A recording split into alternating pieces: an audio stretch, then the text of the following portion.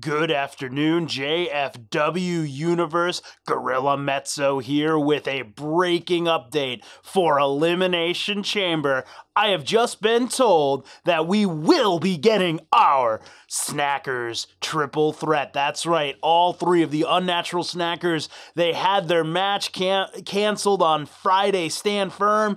And for once, you can't really blame the Snackers for it. So instead, we're pushing that match to the first match opening the card on Elimination Chamber, and the winner of that match will be pulling double duty. They will go into the final slot for the Extra Arms Belt Championship in Elimination Chamber in the main event. Get excited, everyone.